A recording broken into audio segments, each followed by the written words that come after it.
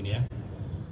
Uh, pertama yang tadi sudah disampaikan juga oleh uh, Ketua Umum eh, Partai Nasdem Pak Surya Paloh bahwa beliau pun mengatakan apa yang tadi ungkapkan mudah-mudahan itu tidak benar, betul kan?